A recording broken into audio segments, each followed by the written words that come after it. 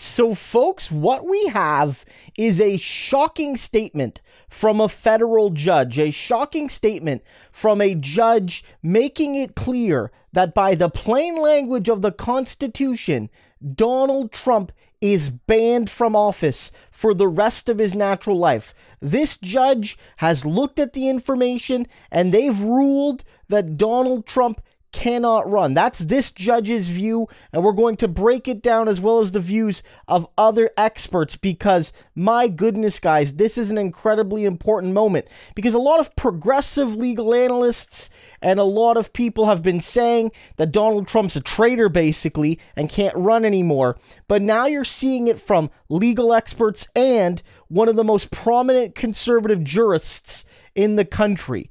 Hit the like and subscribe button as we track this incredibly important moment where this lawyer dropped this major announcement, excuse me, this judge dropped this major announcement that's sending shockwaves throughout the entire world. Let's start with a more progressive legal analyst that's partnered with this judge in this monumental announcement because it makes it clear that Donald Trump is not eligible. And what it will have to decide is what this language means. It's pretty obvious what it says. In fact, when it was written, Abraham Lincoln was no longer president. We had a president who didn't believe in the 14th Amendment, Andrew Jackson. They weren't going to rely on him and his Justice Department to decide who should be convicted of insurrection. That's beside the point. So it's important to see what happens in all of these 91 pending charges of crime against the former president. But whatever happens in those cases, this disqualification, like the disqualification of someone who was not a natural born citizen, or the disqualification of someone who doesn't meet the age limits, has got to be enforced according to its terms. For a very long time, Americans didn't take this seriously. But now that scholars have begun to look at it, and as the judge says, I've looked at it for a long time, it's impossible to disregard. We have a former president who has proudly said that he would terminate the Constitution. That was his language. He would terminate it if necessary to hold on to power.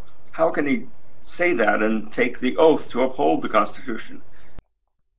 Look, this is it's very important it's very important to get this right. One of the things you're going to see throughout this video, and watch it till the very end, because there's something at the very end. There's one particular word, really two words, that when you hear, you will have a, a kind of transcendent moment. But what this really demonstrates is that the language is clear in the Constitution. It's not really up for debate. Donald Trump is not eligible. And here is this very conservative judge making that point. Again, the language being clear. The what what has brought our article forth uh, is uh, some magnificent scholarship by Professors Baude and and Paulsen uh, that is forthcoming in a law review at, uh, from the University of Pennsylvania. Uh, their monumentally important contribution uh, that, that, that they have made uh, is that they have demonstrated that what might have been is not, which is to say this. Uh, Section 3 of the 14th Amendment means exactly what it plainly and clearly says, specifically, as you just read. Yeah. Any person who previously has taken the oath of office to support and defend the Constitution of the United States, and who then engages in insurrection or rebellion against the United States and the Constitution of the United States uh, shall not thereafter uh, hold, uh, in this instance, the office of the presidency of the United States. Uh, that language uh, in the Constitution, Jim, simply could not be any clearer. It is unmistakable in its application to the former president. The only thing that was not known until Professors Baude and, and uh, Paulsen did their uh, their scholarly work is whether uh, this was the actual meaning under the original understanding of the Constitution. And the professors confirmed and demonstrated that indeed it was. Look, there are moments where constitutional language isn't clear, and there are moments where the Constitution is clear in its lack of clarity, basically saying, you know, either it doesn't take a position on an issue or it suggests that the issue has to be dealt with through the legislative process, which basically means people gotta hash it out politically. Here, it's really, really, really clear language, guys. It's, it's so it's so clear, right? It's absolutely critically clear, right?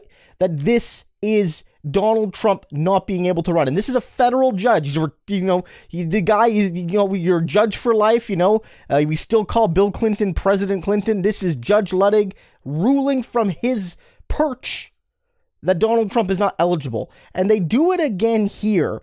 And they really, really reiterate the simplicity of this argument.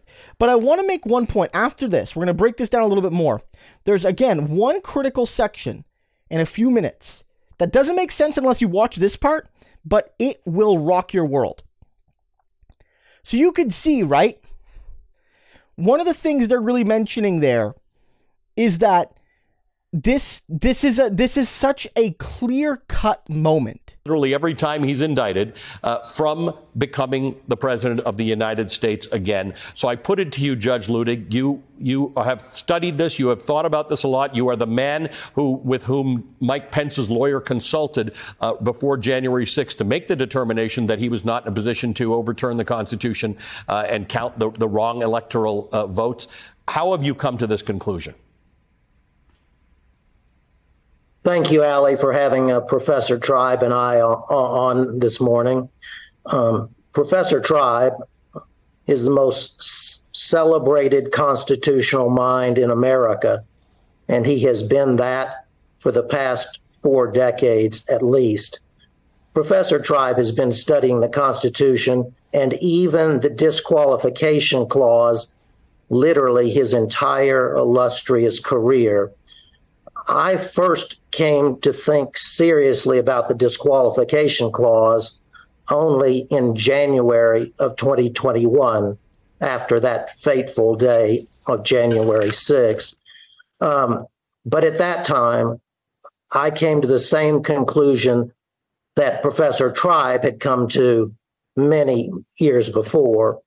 And Professor Tribe and I have been discussing uh, this profound question uh, between us uh, privately for over the past two years.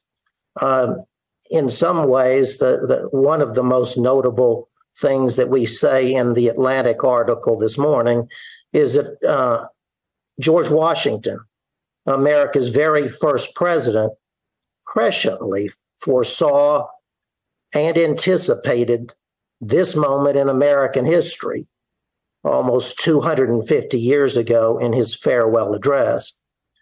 Turning to the, the merits of, of what we have explained uh, in this article, uh, constitutional analysis, Ali, as, as you well know, does not lend itself to, to sound bites. Uh, in this case, though, it does when coupled with the, the, the, reading of, of this article that, that we, we've done this morning. Uh, and that soundbite is literally that the Constitution in Amendment 14, Section 3, forbids the former president from holding the office of the presidency again because of his uh, uh, conduct in and around January 6, 2021, and specifically uh, in his conduct that um, either uh, constituted an insurrection against the Constitution of the United States or a rebellion against the Constitution of the United States or aid and comfort to the insurrection or rebellion that occurred on that fateful day. Under the disqualification clause, the, the, the literal terms, the plain meaning, and now we know through the uh, the, the, the magnificent research uh, of professors Baude and, and, and Paulsen, the original meaning of Section 3 disqualifies the former president from ever holding uh, the presidency again, Ali. Is self executing, operating as an immediate disqualification from office without the need for additional action by Congress. And the clause itself says that Congress's only role in this clause is to remove it if they think it's not true. That means it's not necessary for Congress to act to disqualify Donald Trump as a presidential candidate. Is that how you read it? Uh, it is, Ali. The, the, that specific finding is perhaps the single most important conclusion uh, that w- was drawn by the professors from, from their uh, scholarship.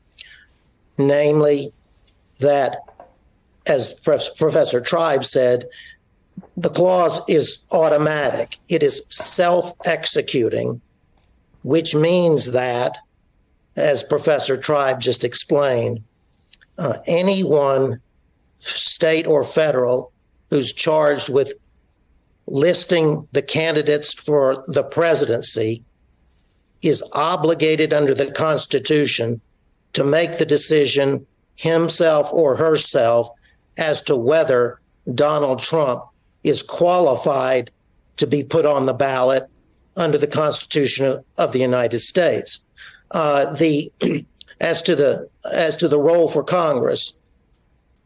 Frankly, until, until uh, this scholarship by by the two professors, I was not aware uh, of the self-executing feature of uh, Section Three. I'm sure Professor Tribe was. He's written uh, thought and written about the uh, disqualification cause his whole life. But this is this is of momentous significance itself because neither Congress nor Congress through impeachment nor a judicial order nor the results of a criminal conviction are needed as of this moment under the professor's reading of